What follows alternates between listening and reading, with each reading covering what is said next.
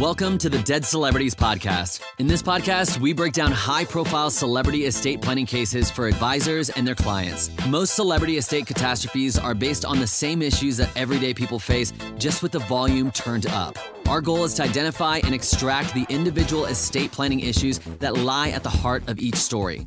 We then discuss what advisors should expect and how to avoid common pitfalls. Hosted by wealthmanagement.com senior editor David Lenok. Hello, everyone, and welcome to the latest episode of WealthManagement.com's Dead Celebrity Podcast. For anyone new to the podcast, in each installment, myself and a guest take on a different celebrity estate and attempt to extract some key lessons that planners can apply to their more traditional clients. The idea being that celebrity estate planning catastrophes, although often ridiculous in their details, generally have at their core very basic issues that can just as easily apply to non famous or fabulously wealthy clients. My guest this week is David Lesperance. David is a highly respected international tax and immigration advisor with over 30 years' experience advising high and ultra high net worth individuals and families. His interest in these areas grew from his experience working as a Canadian immigration and customs officer while studying law.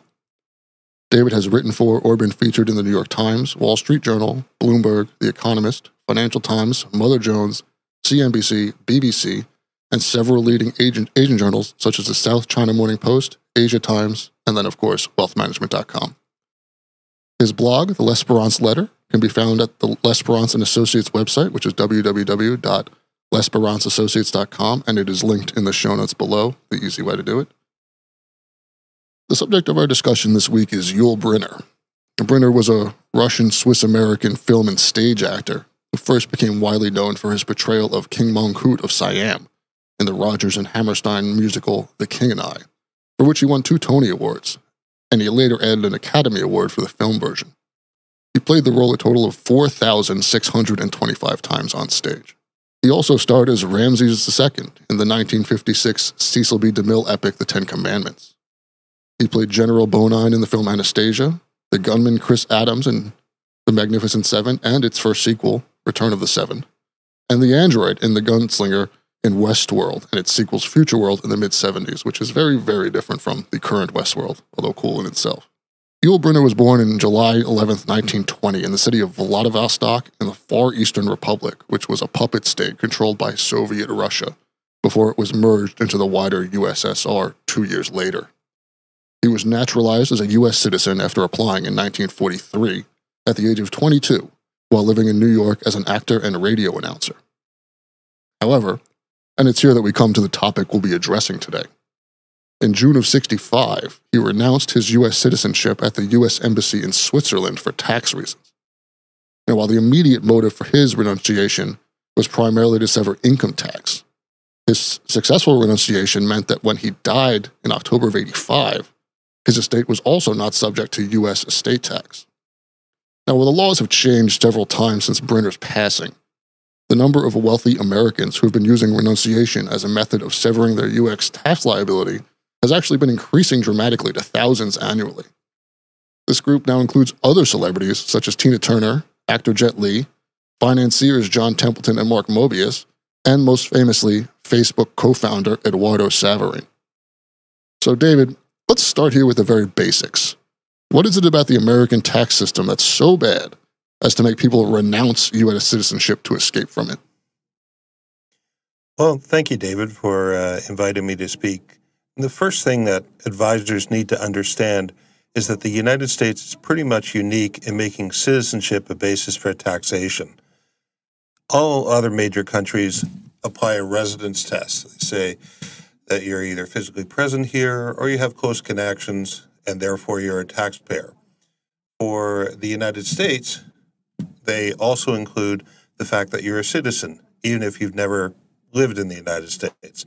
So if you want to leave the US tax system as opposed to leaving the Canadian or the British or the French, you have to actually renounce your citizenship, which means, practically speaking, that you have to have a second citizenship in hand. And the second thing to remember is that for a renunciation strategy, it's something that is done while the client is actually alive, although it does have major estate tax implications and is traditionally been done for estate tax purposes. And the third thing to remember is while the, the plan was properly executed, does sever the U.S. estate tax liability, the process needs to be meticulously planned and executed in order to realize that savings while not compromising the, the business and personal lifestyle of the client and their family members. And a final thing to remember is that while in the process, we may get citizenships and residences for the client's entire family. Generally speaking, only one family member needs to renounce their U.S. citizenship for the strategy to work.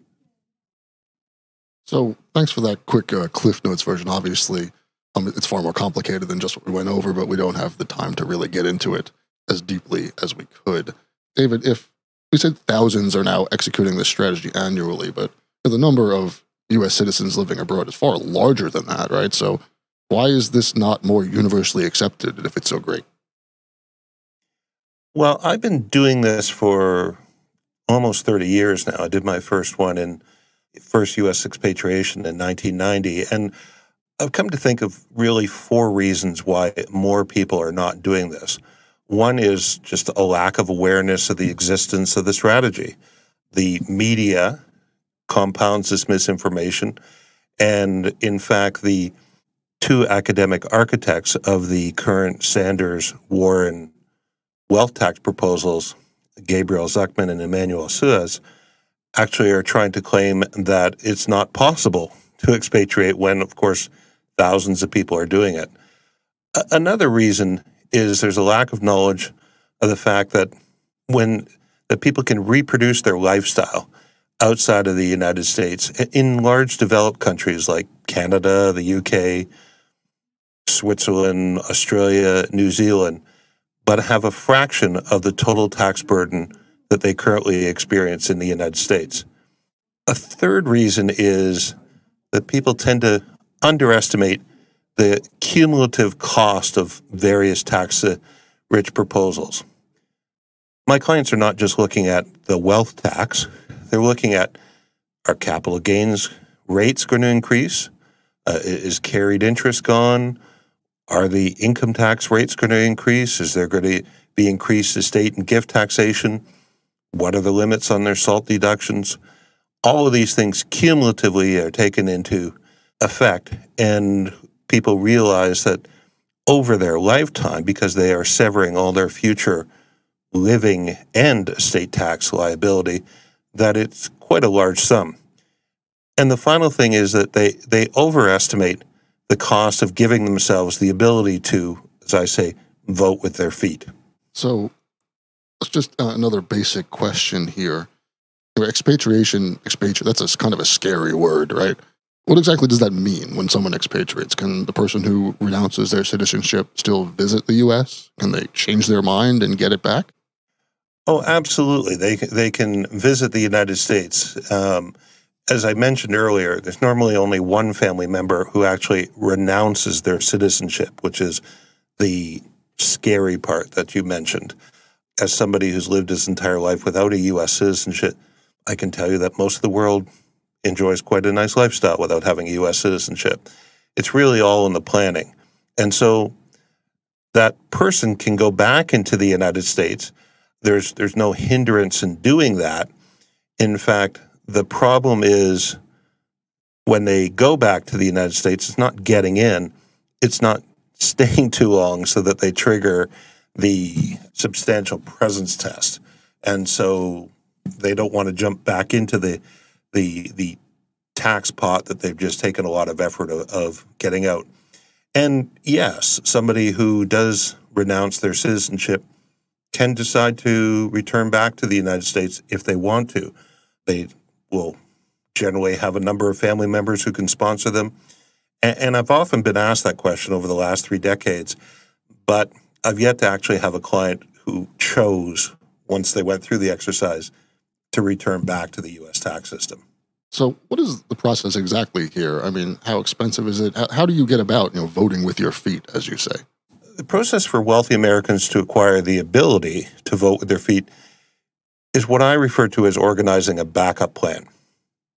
In short, it involves first identifying the client's family needs, preferences, timing, budgets, and the cost of failure should certain tax policies come to pass. Second is determining the best means for securing a second citizenship. Third is identifying the best livable future tax home, which meets the individual or the family's business and personal needs. And the last is determining cost efficient practical strategies to deal with the tax ramifications of leaving, which is an exit tax. It should be noted that the exit tax only applies to what are called covered expatriates. Those are people with greater than 165,000 in annual tax burden over the last 5 years or average tax burden or 2 million. And again, that's the group we're talking about. And so they have a deemed disposition for capital gains purposes. But they need to look at this one time cost versus the long term costs. And of course, if those capital gains rates increase in the future, that cost would would really be extraordinarily higher. Now, I mentioned the first step for clients is to get get themselves a second non-American citizenship. And this can be done a variety of ways. One is by having a birth citizenship. For example, Eduardo Saverin, who mentioned earlier, had a Brazilian citizenship prior to becoming naturalized in, in the United States. Second is becoming naturalized in another country, such as Canada or Australia or New Zealand. These are people who are have, have already physically moved from the United States, spent enough time in a new country to become naturalized in that country. The third is lineage. The United States is an immigrant country. A large number of Americans have, through themselves or their spouse, entitlement to a lineage citizenship or citizenship by descent.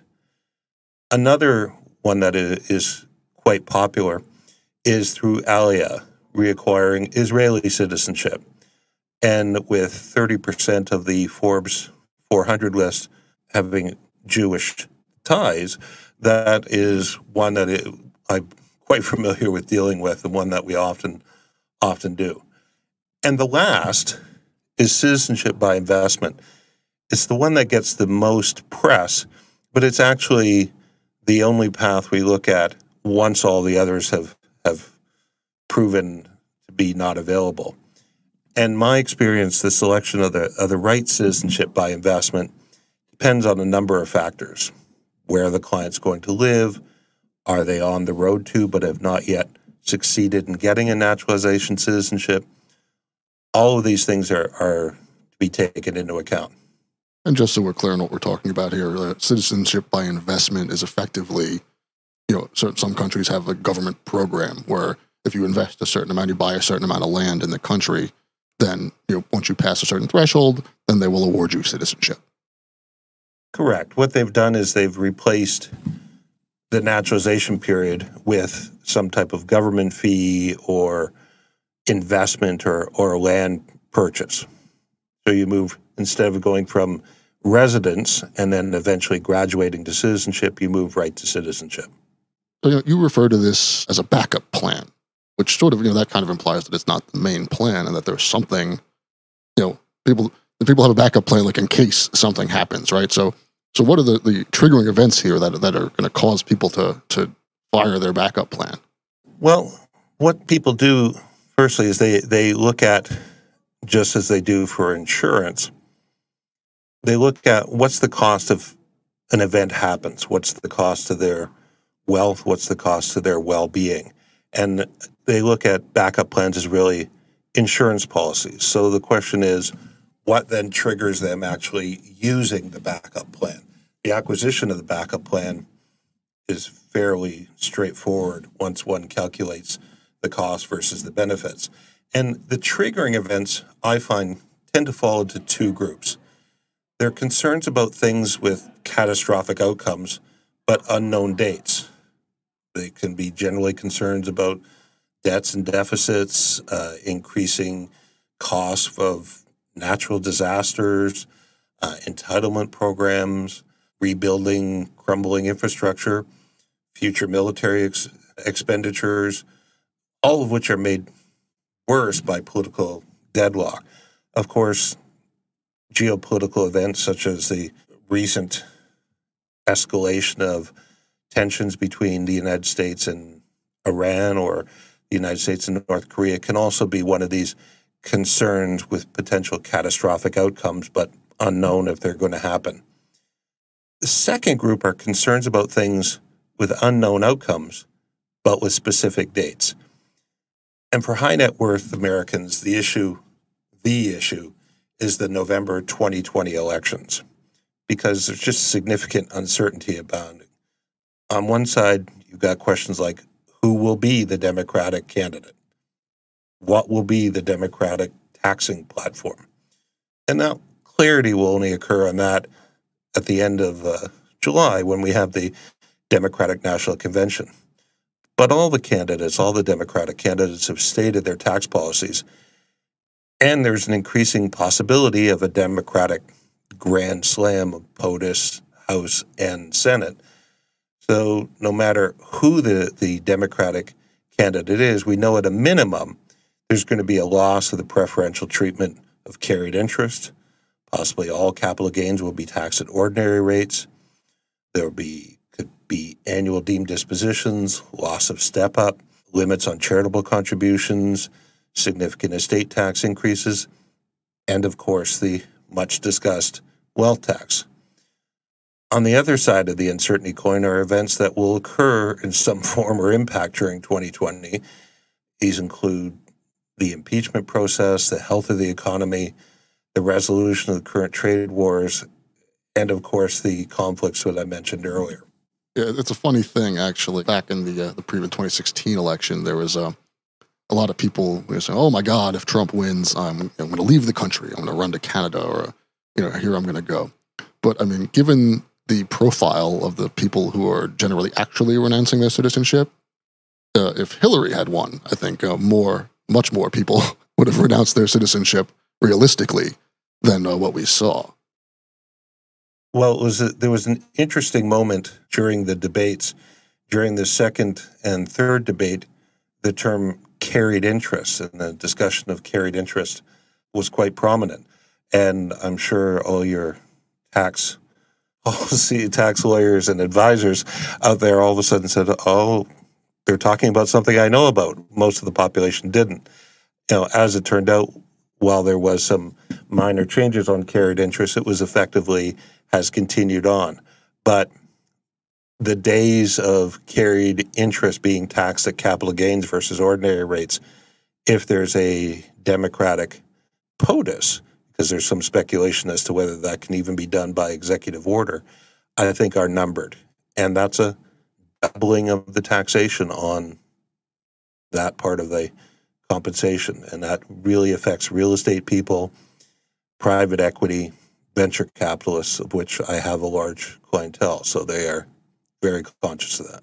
So, you know, I think it's helpful to think of this. You know, you, you categorize it sort of similarly to insurance, right? Where it's in case these events happen or if these events happen and we don't know what the outcome is. Those are the things where you, then you might need your plan. But, um, you know, with an insurance plan, you know, you pay into it, but there are ways that, you know, if you know, thankfully, whatever you're insuring against doesn't come to pass, there are ways for you to recoup some of that money. If you, you know, ultimately end up, you, know, you put this backup plan, as you say, in place, you do all the time and all the spending and the planning, and then you end up not using it. Obviously, you're not going to be able to get your money back, but I mean, is there are there other benefits if you of having this plan in place, be, even if you end up not renouncing your citizenship? Oh, absolutely. In getting the backup plan, you're going to be getting second citizenships and travel documents and, and homes for the entire family. If I look at my own family, the Les children didn't set out this way, but my older sister married a Latvian, my older brother married an Italian, I married a Pole, and my uh, younger sister married an Irishman, and there, and we we've gotten European citizenships for the entire family, including children. So I have nieces and nephews who are have worked and studied and lived around the Europe because they had EU citizenships. So that's an immediate benefit. And it also, like an insurance policy, gives people kind of peace of mind. When you buy insurance, you, you don't want your house to catch on fire. You're hoping it's not catching on fire. You're not even sure that it, there's a better than 50 50 chance that it will. But you know that if the event occurs and that there's more than a remote possibility that it'll occur, that if you're not insured, you're going to suffer kind of a catastrophic failure.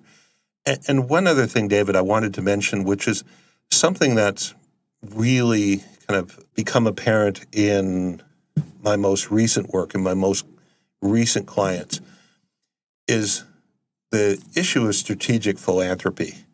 If you think about traditionally, expatriation was done for estate tax purposes, or in the case of a young person like Eduardo Saverin, who had a, a number of years uh, of earning potential getting out of the U.S.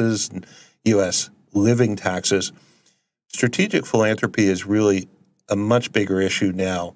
If you look at the, the 2020 unified credits, for example, for a couple, you're talking about 23 million before state tax starts kicking in people who are above this level, those are the really starting to get into the target range of the Sanders and Warren wealth tax proposals.